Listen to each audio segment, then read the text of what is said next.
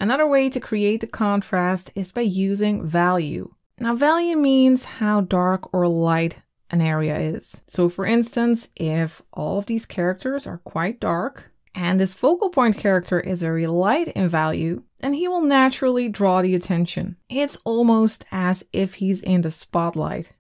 Here's a little example. You can see how your eyes naturally get drawn to the light area. So this area is light in value and the rest is very dark in value. And you can also see how this painter has made use of color over here with the red little cloth, or perhaps it's something like a backpack. That attracts the eye even more. Also, colors are a bit more saturated in this area compared to the other areas. So this painter used multiple techniques including the rule of thirds actually, but we'll get to that later.